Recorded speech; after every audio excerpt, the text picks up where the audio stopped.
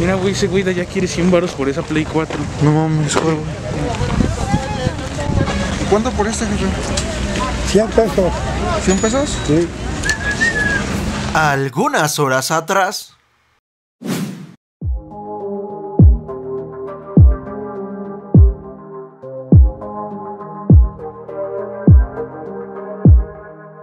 Este video no salió como pensábamos, pero la verdad que no nos fue nada mal. El día de hoy íbamos con la intención de conseguir una PC medianamente buena para jugar emuladores y algún otro que juego actual. Para los que no conocen esta serie, déjenme les explico, tratamos de conseguir consolas al menor precio posible. El día de hoy nos adentraremos en el tianguis de la Vicente Guerrero en busca de consolas, accesorios y todo lo que tenga que ver con tecnología. Si te ha llamado la atención, quédate con nosotros que enseguida comenzamos.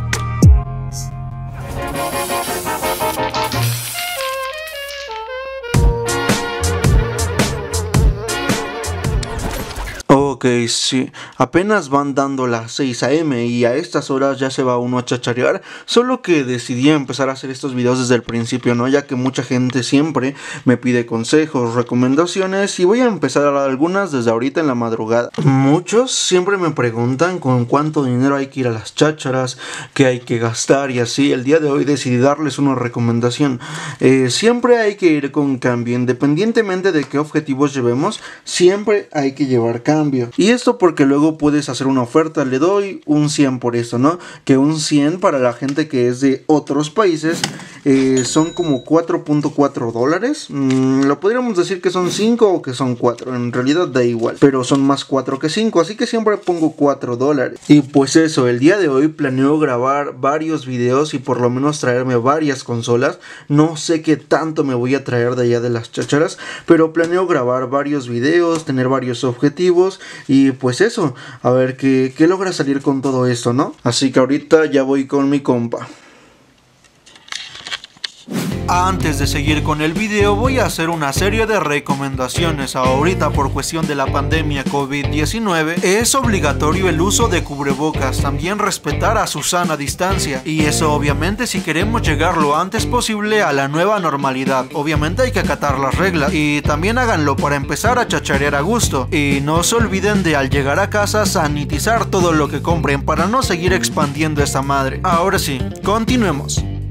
El video del día de hoy iba a ser solo exclusivo para buscar una PC de medianos recursos que nos corriera todos los emuladores Nintendo 64, GameCube, PSP, Wii, o sea que nos corra a un buen nivel y algunos juegos actuales, pero la neta es que hoy día jueves no se pusieron mucha gente que vende procesadores, memorias RAM y diferentes chácharas que son de pura PC, así que lo vamos a posponer. ¿Qué les parece si nos motivamos dejando el like, activando la campanita para que nos motivemos a subir ese video armando una PC de puras chácharas. Desde el procesador, o sea, todo. ¿Qué dicen? ¿Se animan a ayudarme con un like? Entonces este 80 Ese, este, igual 80. y el control de Play 2 Por ese dame 70. 70. ¿Aquí cuánto sería? Serían 160, 160 y, y 70 son cien- este, 230. Y la ¿Esa es pantalla para el Play 1 o Sí, Viene así completo.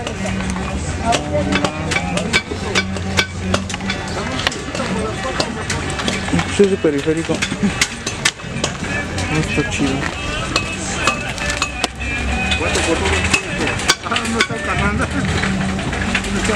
A ver, ¿cuánto llevábamos ahí? Este, 230. 300. 530. ¿Eso sale 500 por todo? ¿Va? Bueno, aquí ya tenemos la Xbox 360 conectada. Si la pueden ver tan chidas porque tiene un ultra skin, la página estará en la descripción por si quieren que se vea así. Y bueno, de paso compramos este periférico que la neta yo ya lo conocía, pero nunca había tenido la oportunidad de comprarlo. Lo compramos en 80 pesos y bueno, ya vi de qué, de qué son estas entradas. Aquí hay una tablita, la pueden ver. Y la tablita básicamente te dice cómo configurar estos dos botones para, para ver qué salida de audio de video vas a ocupar. Por ejemplo, esta, esta o la de VGA. En este caso, aquí la tablita dice que 2.2 es la de VGA. Así que vamos a encender la consola. Y No sé, no lo pueden notar ustedes, pero los ventiladores sí están girando. Está sacando airecito por atrás. Y la neta está chido. Ahorita vamos a ver si da video. Miren, ya está dando video con el cable de VGA. Y hay unos cables de Xbox 360 que estaban vendiendo con VGA, pero la neta no funcionaban chido. En este caso este sí funciona perfectamente. Y quiero suponer yo que para sacar el audio solo tendrías que sacar el cable blanco, bueno, el cable blanco y el cable rojo, que son los de L y R, que son, miren, aquí está, LR, porque son los dos de, de audio. Supongo que solo serían esos dos para, para conectarlos a algunas bocinas o algo así. Ya solo sería cuestión de conectar estos dos para que se escuche. Y los ventiladores están girando perfectamente. Bueno, aquí ya está la PlayStation 1. Esto nos costó 300 pesos, si no mal recuerdo. Eh, aquí está la consola. Lo que acabo de ver es que, miren, eh, con esto mismo puedes encender la consola. Pero miren, voy a tratar de que se vea video. Miren, en el video. Prende la pantalla, pero no da video. Esto quiero pensar yo que es por la PlayStation 1 que no funciona. En este caso aquí no tenemos otra. Voy a tener que ir a mi casa para probarla, pero quiero pensar que sí es eso. Porque sí intenta dar video, siendo que lo que no da video al fin y al cabo es la consola. Ya sería cuestión, quizás aquí le estoy adjuntando un video en donde lo estoy probando en mi casa y ya diciéndole si funciona o no funciona. Bueno, este es un Play 1 que trajimos de allá y bueno, ahí está dando video funciona perfectamente el Play 2. Lo que estamos viendo es que este no funciona de ninguna manera. Pero vamos a calar si por lo menos el Play que nos incluyeron nos va a servir de algo. ¡Órale! Tenía la suposición. Bueno, déjenle acomodo los cables. A ver si es eso. No, de hecho, pues el cable estaba en perfecto estado.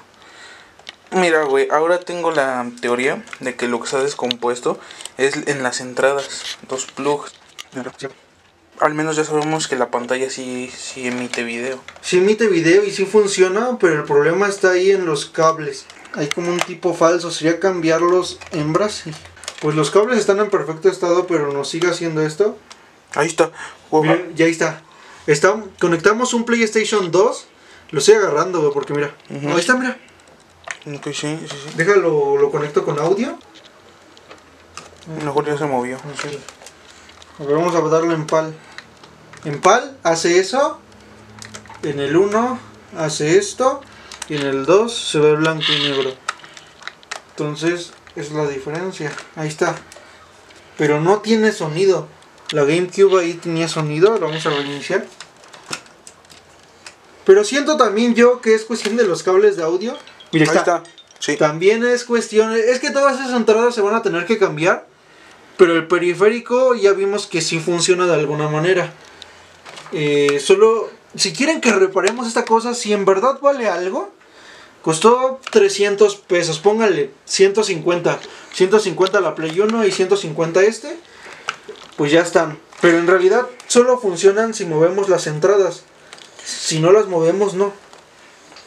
Bueno, otra cosa y como dato curioso, yo sé que esta madre es muy difícil de conseguir y es carísimo actualmente, pero pero originalmente creo que no es así. No, es genérico. Creo que no sé si alguien lo tenga o sepa. Pero según yo no es original. Pero aún así supongo que debe valer pues un buen varo, ¿no? Quién sabe cuánto valdrá. Pero déjenlo en los comentarios si alguien lo conoce. Y si vale la pena repararlo. Porque la neta no sé si lo valga, ¿eh? El estarnos matando ahí reparando esta cosa. Porque es fácil de reparar, solo es cambiar entradas y ver si las podemos reparar las mismas que trae. Solo sería cuestión de checar. Al momento de estar analizando este periférico y demás, se nos ocurrió un proyecto personal que vamos a elaborar en las siguientes semanas. Es el hacer una PlayStation 2 portable, o sea, integrarle este periférico a lo que sería la PlayStation 2. Aparte de repararlo, hacerlos uno mismo. Se nos ocurrió la Isebano o añadirlo a una Xbox 360 modificando la carcasa y todo eso. Estaría bastante bien, créanme. Pero bueno, ya les estaremos informando en Instagram cómo es que va todo este proyecto. Ya saben que en Instagram y Facebook suelo dar todo este tipo de anuncios, así que los invito a que me sigan si no me siguen. Díganme, ¿quién de ustedes si viera algún teléfono de esa magnitud así de llamativo no se lo llevaría?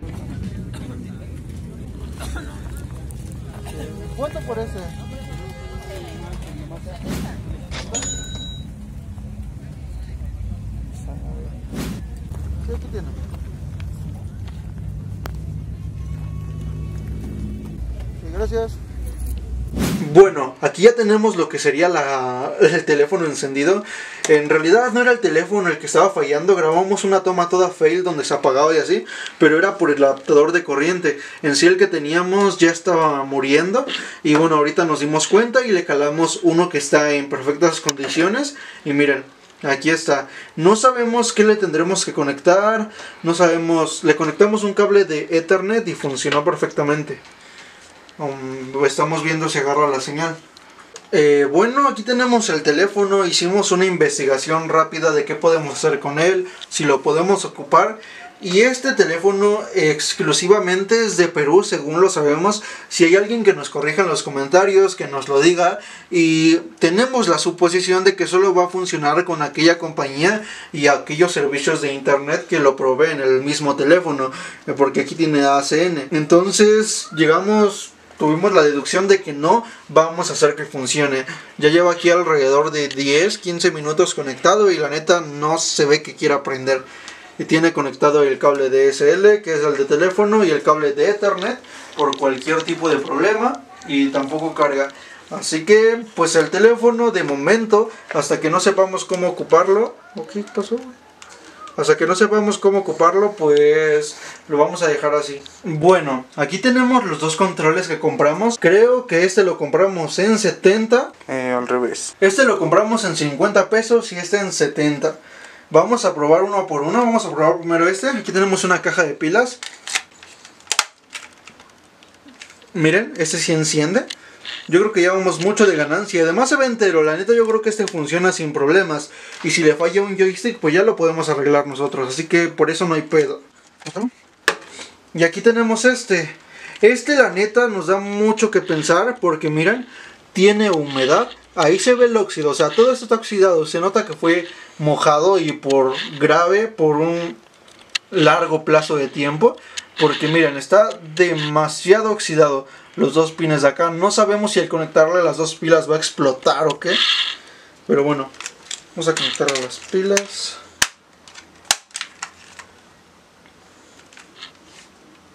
¿Lo siente camarógrafo? A ver. Lo escucho, lo siento. Dios está aquí. Dios está aquí, está el, el control está vibrando. Está vibrando. No tiene sentido el por qué esté vibrando. Sí, es cierto. A ver, ponlo en la madera para ver, para ver si se escucha. No sé si se percibe el audio, pero está vibrando el control. Mira, mejor pégalo así. mira. Sí. Está vibrando, pero no enciende. Está vibrando el control. Bueno, eso se me ocurre una explicación fácil que es porque está mojado. Siento que si está vibrando el control es porque tiene toda la humedad y obviamente muchas cosas están haciendo contacto. Eh, lo ideal para estos casos sería limpiarlo, meterlo en alcohol isopropílico, limpiarlo al 100% y ver si ya arranca, ¿no? Si deja de hacer contacto todo. Se me hace normal que esté, que esté vibrando. La neta siento que se puede rescatar el control. Si quieren un video, pues dejen su like. Yo creo que sí lo vamos a hacer porque es un caso muy interesante. Eh, miren qué otra chulada de PlayStation me acabo de traer. En realidad esto va a estar muy interesante, ya que esa consola a pesar de morir hace algunos años está en pleno auge, ya que está siendo revivida. Y pues nada, es un pequeño spoiler de lo que viene en el siguiente video.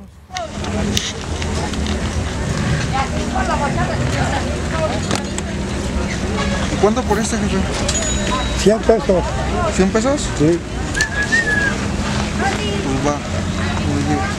Cuando se encuentren una consola así, una Play 4, Xbox One, una consola de última generación hasta una Switch, les recomiendo que si se las dejan a un precio semejante, 200, 300 pesos, se la traigan. En sí cualquier pieza que le saquen a esa consola será remunerable. En este caso nos aventamos por la PlayStation 4 y bueno, les dejo el resultado de qué es lo que pasó más adelante. Y ya enciende. Ah, creo que es aquí, güey. ¡Oh! ¡Ay, cabrón! No mames. No mames, güey, encendió, güey. Es que se ven como botones. Yo creo que este debe ser de la bandeja, güey. Y eh, no mames, güey. Güey, cállate a la verga, güey. Está girando bien, vergas. Güey, güey, el monitor está tratando de reaccionar. ¡Oh, ahí está, güey! Mira, chica. cabrón. Comprobando estado de almacenamiento del sistema. No apagues tu PlayStation 4. Eh, no sé si aquí después nos bote error de disco duro, pero esto ya está en blanco. La neta, yo no he tenido esta consola que es la FAT. Lo, lo que tengo es la Slim, pero esta consola no.